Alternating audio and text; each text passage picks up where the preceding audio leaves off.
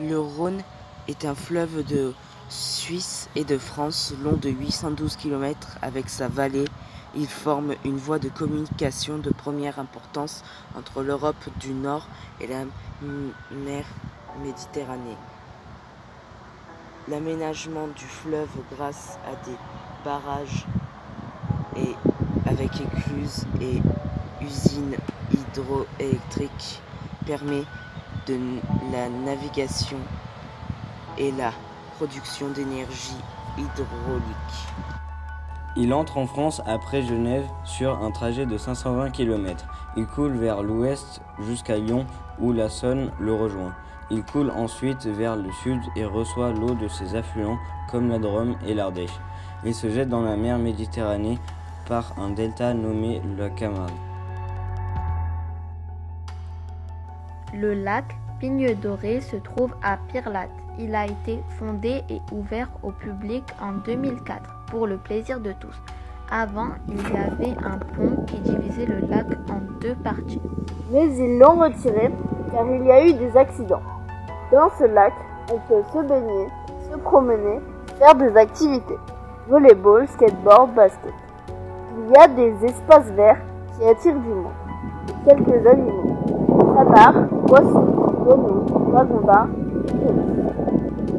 Activités nautiques, avions, planches à voile, etc. Espace sport, espace pour enfants et un restaurant. Je vais vous expliquer comment s'est formé le pont d'Arc. Le pont d'Arc a été créé naturellement par l'eau. Il y a plusieurs années, le pont n'était qu'un large rocher. Cette arche, nommée le pont d'Arc, mesure 54 mètres de hauteur pour 60 mètres de large. Et son histoire est datée d'au moins 500 000 ans.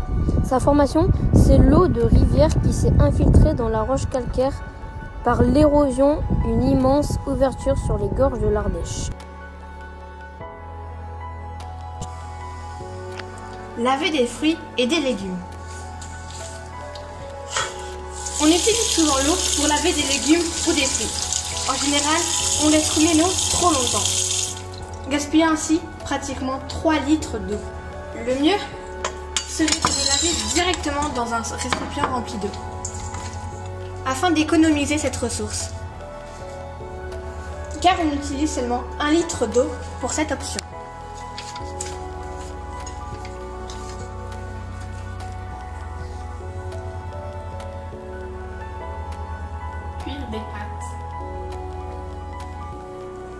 On utilise l'eau pour faire cuire des ingrédients. Exemple, des pâtes.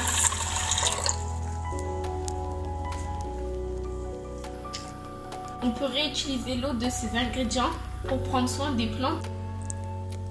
Faire la vaisselle. On utilise aussi de l'eau pour faire la vaisselle. On peut faire la vaisselle à la main ou alors avec le lave-vaisselle. Lorsqu'on fait la vaisselle à la main, on utilise entre 15 à 50 litres. On peut aussi faire la vaisselle avec le lave-vaisselle. Lorsqu'on fait la vaisselle au lave-vaisselle, on utilise 10 à 20 litres d'eau. Pour économiser l'eau, il faut alors utiliser un lave-vaisselle et attendez qu'il soit bien rempli pour lancer la machine. L'eau que nous consommons et qu'on utilise pour plusieurs choses de notre quotidien. L'eau nous sert à nous laver les mains, à se doucher, à boire et encore plein d'autres choses. Pour le lavage de mains, nous consommons en moyenne 12 litres pour une minute. Donc, pour une famille de 4 personnes, ils en sont déjà à 48 litres. Et si ils se lavent 4 fois les mains, ils en sont à 192 litres en une journée.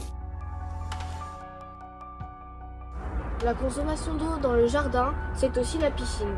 Pour une piscine de taille moyenne en France, la consommation d'eau représente environ 70 à 80 mètres cubes. Celle-ci comprend son remplissage et son entretien. Pour économiser cette eau, il faut mettre un abri ou une bâche pour éviter l'évaporation, favoriser le nettoyage avec un filtre, essayer de la remplir naturellement avec de l'eau de pluie et éviter de la vider chaque année suite à l'hivernage. La consommation d'eau dans le jardin comprend aussi les fuites sur les robinets extérieurs. La consommation d'une fuite va dépendre de la vitesse à laquelle coule l'eau. Pour une fuite où les gouttes vont tomber toutes les deux secondes, on va perdre 3, 3300 litres d'eau par an. Du coup, il vaut mieux faire appel à un plombier pour réparer cette fuite. Dans la consommation d'eau dans le jardin, on va aussi devoir arroser les végétaux. Quand on laisse allumer un tuyau une heure à peu près à cette pression, on va perdre 1 mètre cube d'eau par heure. Donc il ne faut pas utiliser de tuyau. Il vaut mieux utiliser un arrosoir ou un arroseur goutte à goutte. Pour économiser de l'eau lors de l'arrosage, il faut adapter mon arrosage en fonction du climat. Il faut sélectionner les plantes.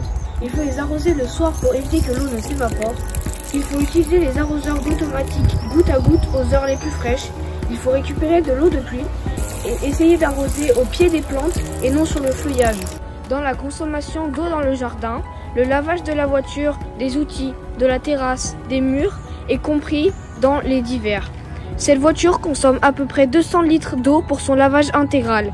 Mais aujourd'hui, il existe aussi des méthodes de lavage sans eau, comme utiliser des microfibres spéciales. Le lavage sera pareil, mais utilisé sans eau. Si vous possédez dans votre jardin une piscine, une voiture, des plantes à arroser, vous allez consommer environ 100 000 litres d'eau par an. Vous pourrez économiser beaucoup d'eau en utilisant des méthodes d'économie d'eau.